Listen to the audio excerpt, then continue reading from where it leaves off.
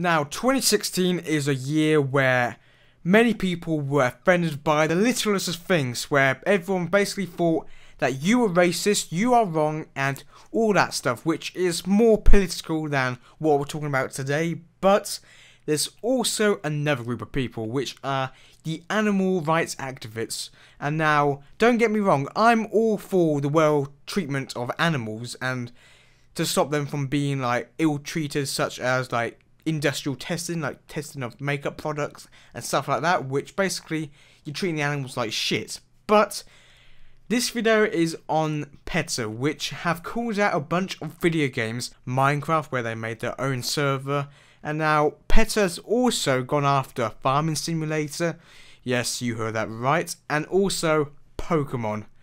Ladies and gentlemen, they they went after Pokemon because you put an animal and an animal against each other and they fight. I mean, seriously, guys, Pokemon, fucking Pokemon. Uh, oh my days.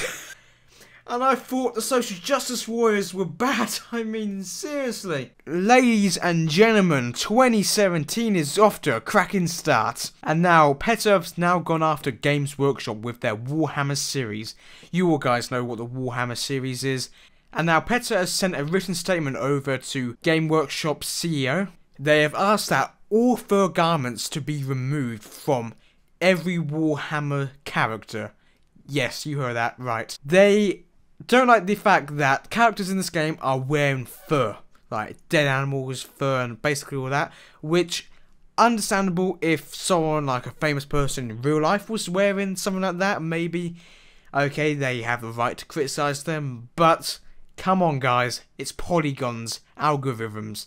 It's not real. Now, I will read the quote out from their report that they sent to Game Workshop. It's nothing on the bloody battlefields of Warhammer's conflict ra ravaged universe could match the terrible reality that foxes, minks, rabbits, and other living beings experience at the hands of the fur trade.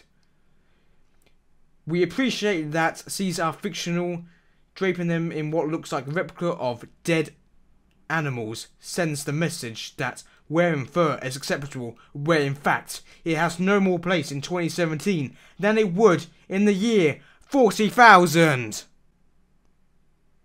Bit dramatic. Okay, now, PETA, if that's what you're saying, that people wearing fur in games encourages people to go out and kill animals and wear them as part of their clothing line, then you are stupid. I'm sorry, you are stupid.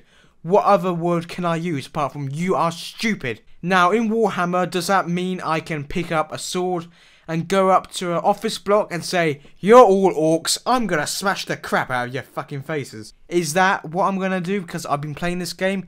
No, so what makes you think I'm gonna want to wear a dead animal around my fucking neck? Come on, seriously. And this also includes orcs and the Chaos Marines in the Warhammer series, so not only the good guys can't wear fur, but the bad guys can't wear fur. So the bad guys cannot also wear fur. Which, if PETA doesn't like the fur trade, maybe they should say, bad guys should wear fur because it's a bad thing to do, and you don't want to be part of the bad guys, hey?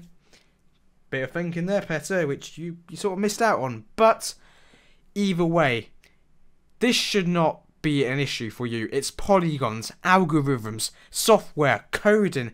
None of it's real. It's all fictional. Killing polygons on a screen is not gonna do fuck all. No one's getting hurt. No one's no one's being killed. No one's having their feelings hurt. Let's be honest now. There are many games that allow you to wear fur, and now they're going after Warhammer because people in that game are wearing fur. Now, this is where Games Workshop has to be resistance to people like PETA in this because if organizations who are offended by something can dictate what people put out on the internet, then it's going to be a scary world if content and games and creative arts and media is dictated by people who say that's wrong, that's offensive, even though it's not real. If they were actually involved in the fur trade and actually killing animals, then that's a different topic. But when it's polygons and pixels, come on, seriously? Now, PETA, you need to actually realise just what video games actually are and what they actually entail because violence in video games, that's been a whole topic. Research has actually proved that video games violence does not cause real life violence. So why would fictional fur trade and fictional dead animals, fictional fur, want make me go and kill an animal and put it around my neck? It's not going to happen. Do the research, guys. It's it's just ridiculous. You're basically you're moaning for the sake of moaning because that offends you and you can't have it because other people have different viewpoints on you. This is the whole thing in this world where if you don't agree with me, you are wrong, which is not a world that we want to go down because if everyone was the same and everyone agreed on everything and everyone had to bow down to one person's feelings or one group's needs and feelings, it's going to be a cold world because when everyone's doing what one person wants, that's not how we evolve, that's not how we grow stronger. It'd be a scary world if that was to ever happen. So PETA, video games aren't your field, so do us a favour and piss off. Anyway guys, if you enjoyed this video, make sure to give it a like because it makes me feel happy because you enjoy because you are enjoying a fat man rambling on the internet. And if you want to see more content like this in the future, make sure to subscribe to MLC Tech because we have a whole bunch of this planned up for the summer and over the and over the coming months. Anyway, guys, hope you enjoyed this video, and I hope to see you in another video. Take care.